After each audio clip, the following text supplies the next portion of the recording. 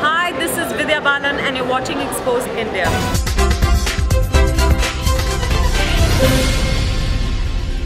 सरकार ने किसानों के हित को देखते हुए फैसला लिया है कि कोई भी बीज भंडार या कीटनाशक की दवा की दुकान बिना लाइसेंस के नहीं खोल सकेगा। इस फैसले का बनारस के लोगों ने स्वागत किया।